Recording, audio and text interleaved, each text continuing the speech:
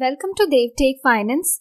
In today's video, we will be learning about mutual fund, asset management company and their structure. This video is a part of mutual funds tutorial, so I recommend you to watch other related videos to get a broader understanding on mutual fund topic. Let's start with the introduction to mutual fund.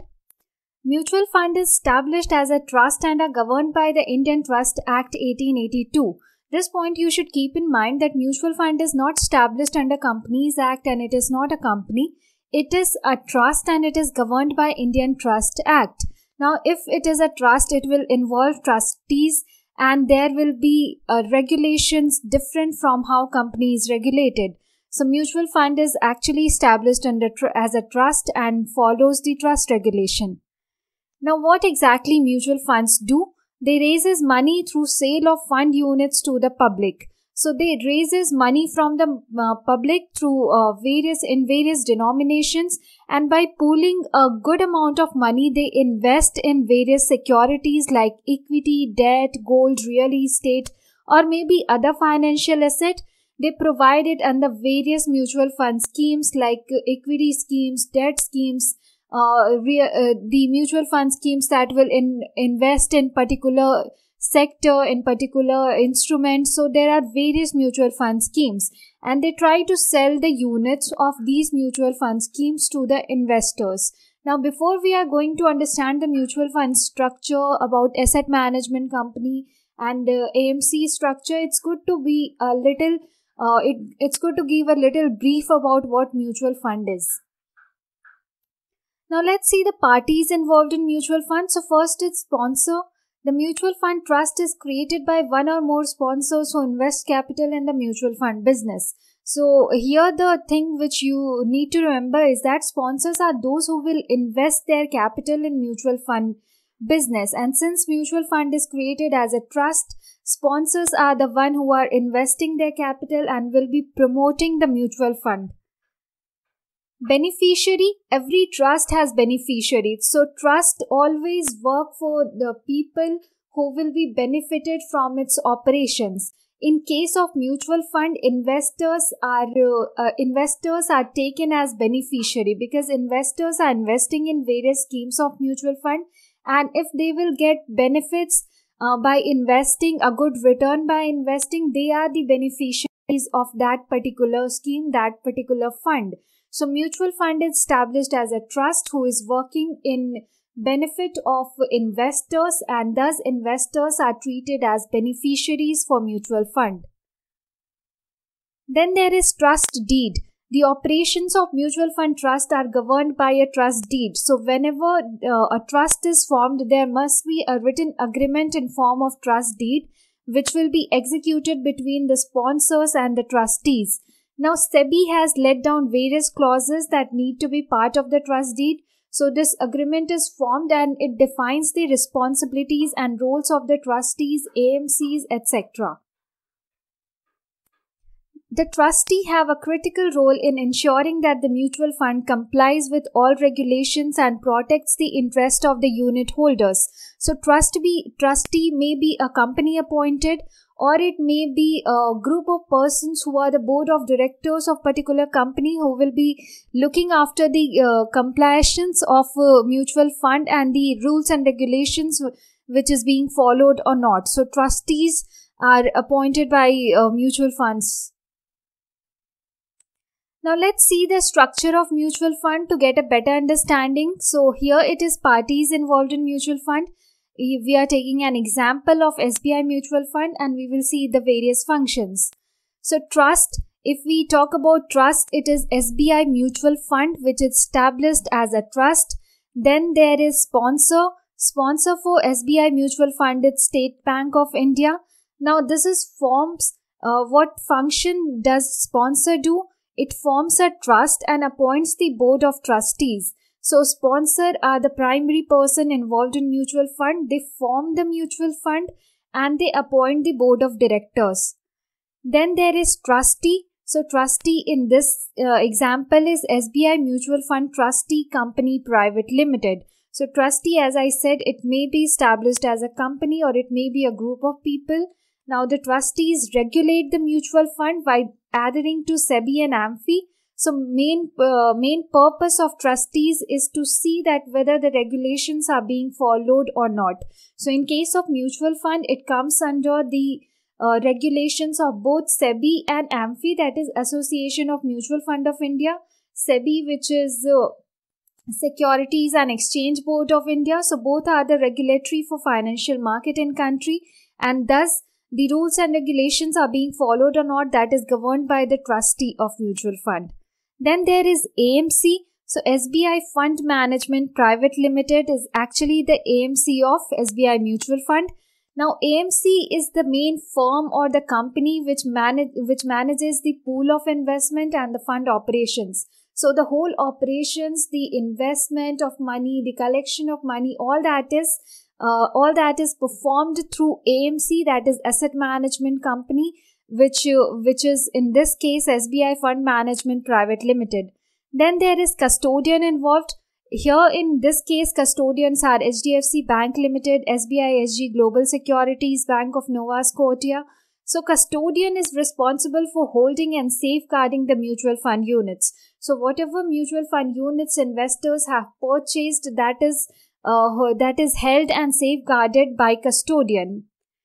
Then there is RTA, that is Registrar and Transfer Agency. In this case, it is Computer Age Management Services Private Limited. The main function of RTA is to keep the record of investors and transactions. So the main function is of record keeping over here.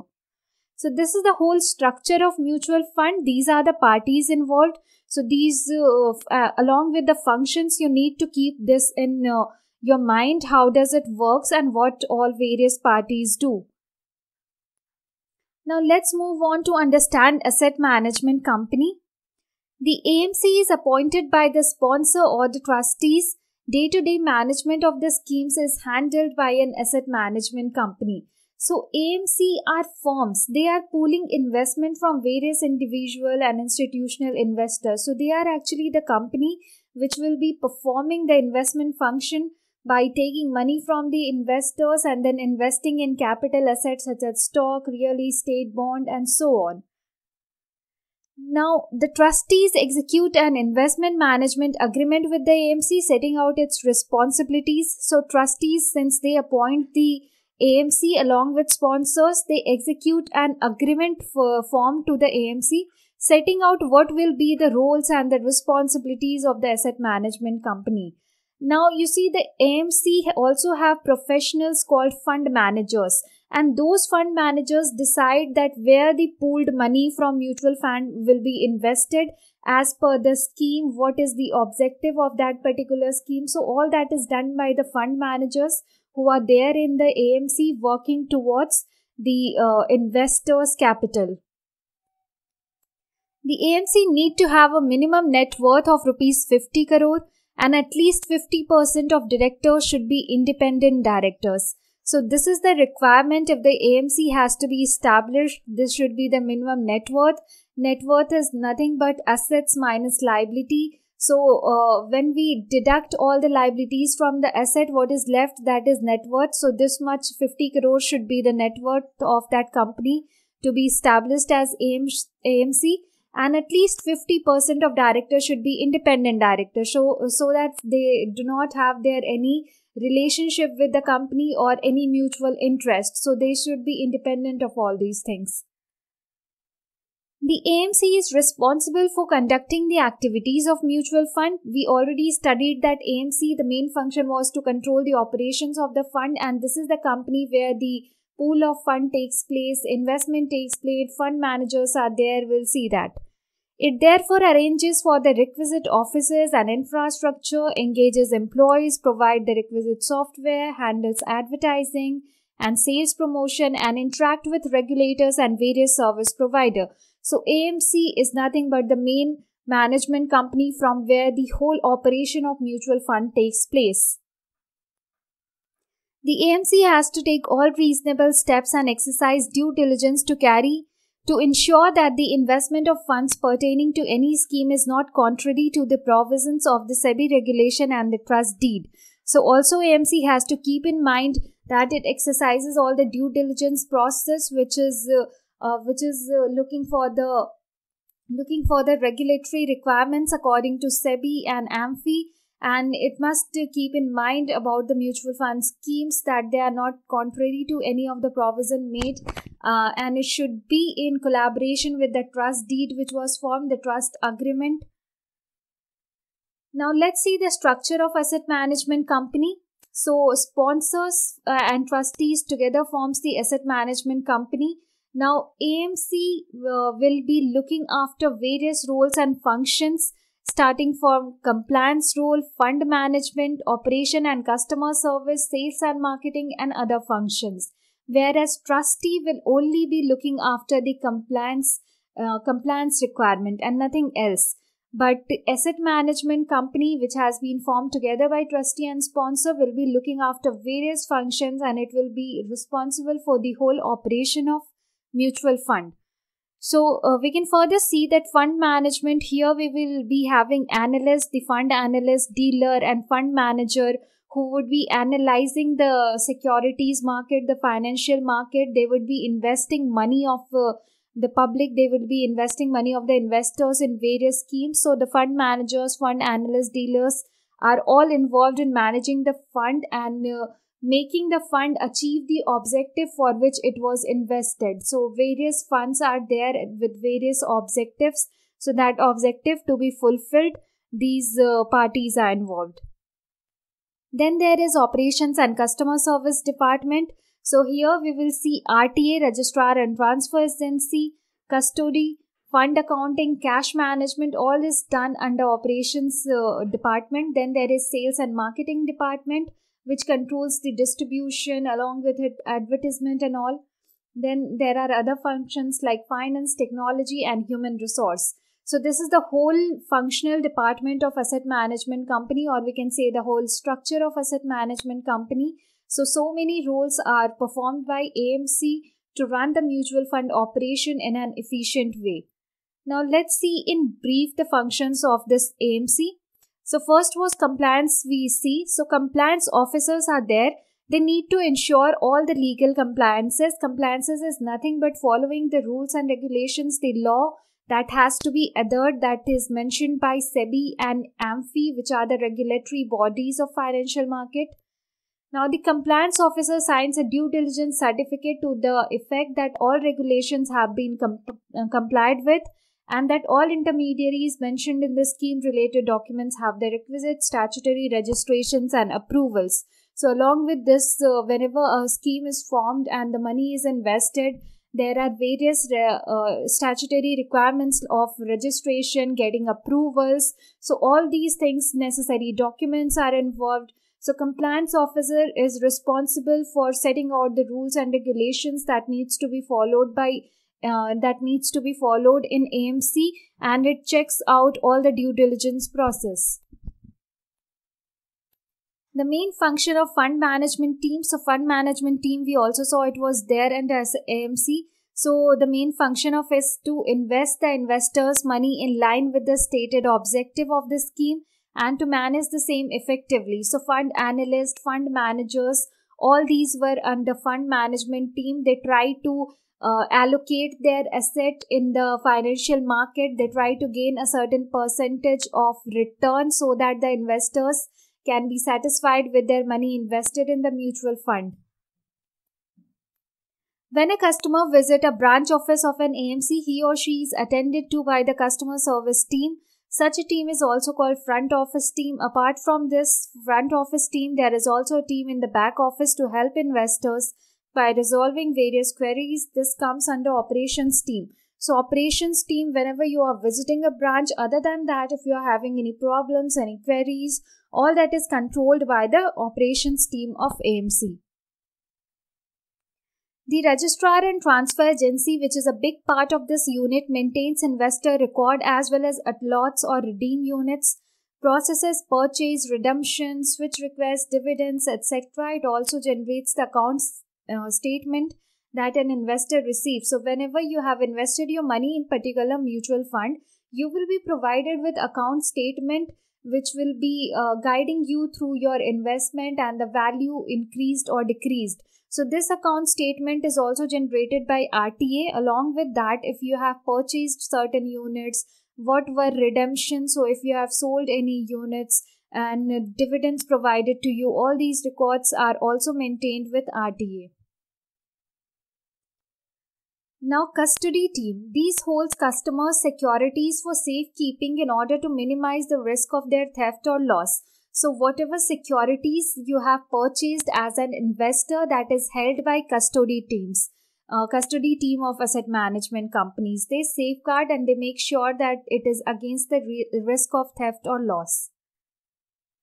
Fund accounting team maintains books of account of each individual mutual fund scheme and calculates NAV on a daily basis. So NAV is net asset value related to a particular mutual fund scheme which fluctuates on daily basis according to the market. So fund accounting teams their work is to maintain a book of accounts and calculate NAV. So NAV is calculated on daily basis according to the market performance thus it is calculated by fund accounting team daily. Now, cash management team ensures that money is received in the bank when investor purchase units are passed on to the fund managers for further investment in securities and the investors get the redemption proceeds when they submit the redemption request. So cash management teams actually looks after the actual money received in the bank. So whenever investor have purchased units, units they must have given their fund uh, the cash so that is ensured that uh, those fund passes to fund managers to be invested in f- further securities and to earn interest rate and to earn certain rate of return on that. Along with that whenever investors sold their units get the redemption proceeds uh, they, this is also managed by the cash management team. That they ensures that the fund is provided to the investor when they redeem their particular scheme then there is sales and marketing team. They reaches out to investor through mass media, marketing campaigns, and through distribution channel. So all advertisements you see related to mutual funds to make customers aware, to make investors aware, to uh, position a brand image, all those are done by sales and marketing team. Their major responsibilities include branding, advertising, and distribution of mutual fund products. So we also read that there were other functions including HR and technology team. HR uh, HR ensures that skilled workforce are there in the mutual fund working. And then technology team works for creating a robust network, good internet facilities and a better connection to ensure that the feasibility is provided to the investors. And they can control they can have their account statement, they can have a look at their mutual fund schemes, all those uh, things is uh, considered by these technology team. Thank you for watching. This was all for this video. Do like and share my channel. Subscribe to my channel, Dev Take Finance. Thank you all.